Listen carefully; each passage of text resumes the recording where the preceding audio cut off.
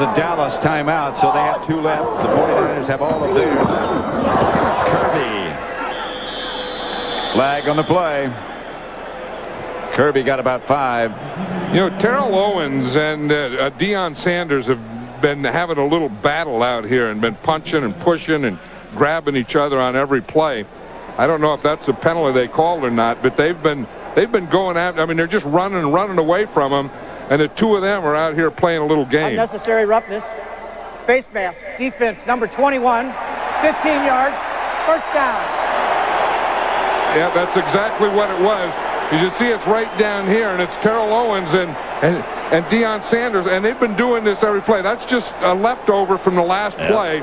And you saw Deion Sanders just grabbed his face mask and pulled him. And Owens grabbed Sanders' face mask and pulled him, too. I don't... And, and, and they were doing that to play before, too. And, you know, I mean, the play went away, and the two of them were just having some little thing going out here. Owens being a rookie, you know, showing he's not going to be intimidated. And Deion Sanders jamming him. Grbac on first down gets it outside to William Floyd, who doesn't get much.